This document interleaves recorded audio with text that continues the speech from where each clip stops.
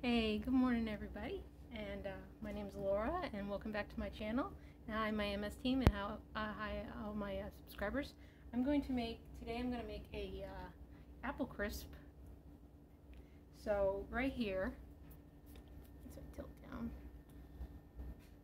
I have about three cups of apples and I have a, a greased uh, dish. This is about a one and a half quart dish. So I'm going to take the apples and put them this was about four apples that I sliced up. Oh, I don't want that piece. Oh, there goes my oven. So I got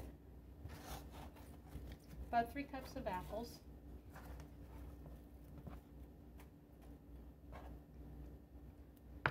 And to that, I'm going to add a tablespoon of flour, a quarter cup of sugar, a teaspoon of cinnamon, and then I need a tablespoon of water, which I will get.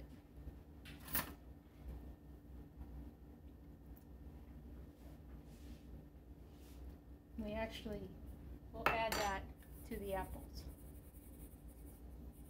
Ooh, it smells good. So we're going to combine it. I'll just grab the fork. So we're going to combine it.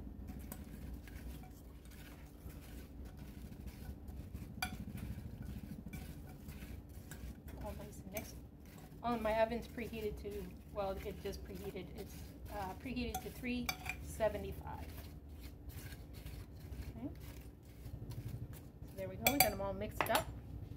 And then we're going to make the topping. Get my pastry blender.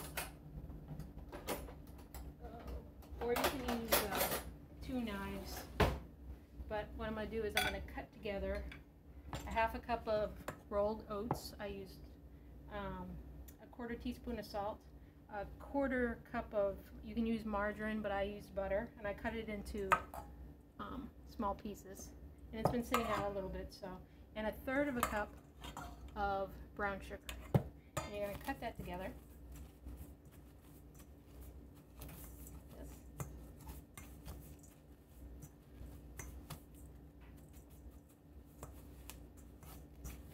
This is going to be the topping.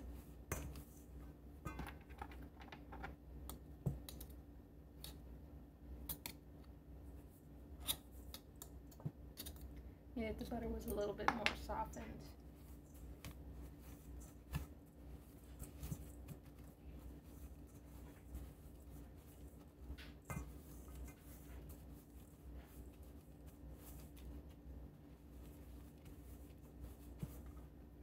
You're going to do that till it makes a nice little crumb. Whoop. Nice little crumb topping. Okay, so we have the crumble mixture made up and we're going to sprinkle it on top of the casserole mixture we have here of the apples.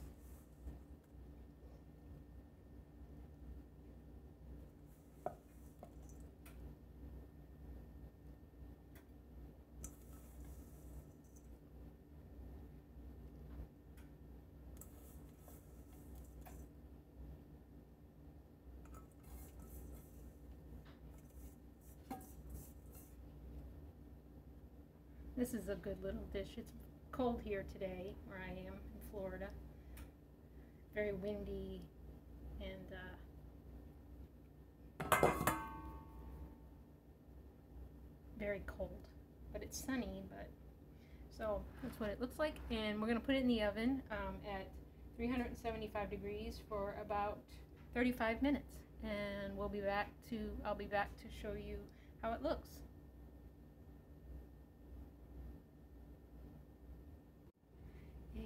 Well, the uh, the cobbler is no, it's not cobbler. It's crisp. While the apple crisp is baking, I thought we'd have a little bit of a MS chat. And uh, yes, I'm wearing my I do what I want T-shirt. I'm not a fan of cats, but um, you know, it's a funny, it's a funny little T-shirt. Anyway, yeah. So far, uh, MS wise, you know, the Aubagio seems to be doing its job. I haven't had um, too many issues. I do get tingling, especially when I'm driving. I think it's the way I sit. If I sit in an uncomfortable chair, or I am uncomfortable, or I'm tired, or I get cold, it seems like I'm just basically uncomfortable. It causes it causes tingling in my right arm, and then it likes to kind of travel down my right side of my body, which while I'm driving, it's fair, you know, it can be a little bit. It's irritating.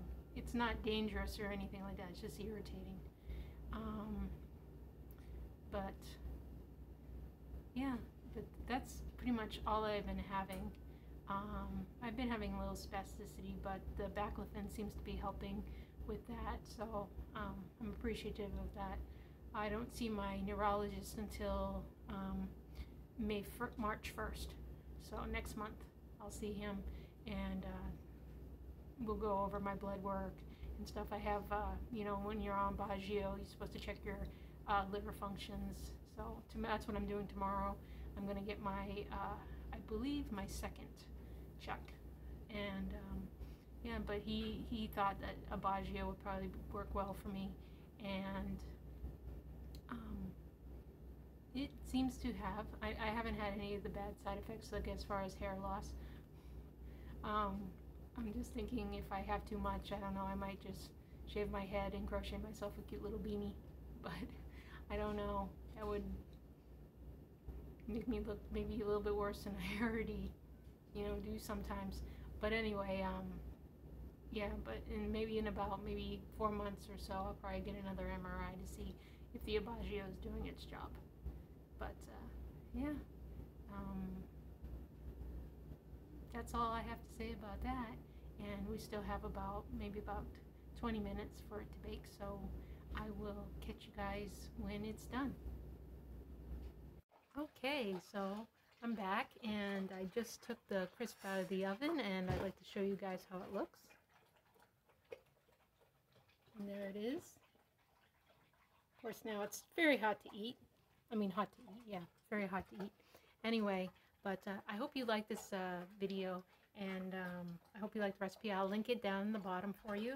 And um, yeah, so be a nice thing to try if you have any extra apples. I've had these apples kind of hanging around on my countertop for a little while, so I thought I'd use them. So anyway, yeah, um, if you like it, you know, just give me a thumbs up. I really appreciate it. And um, I'll talk to you guys later. Bye.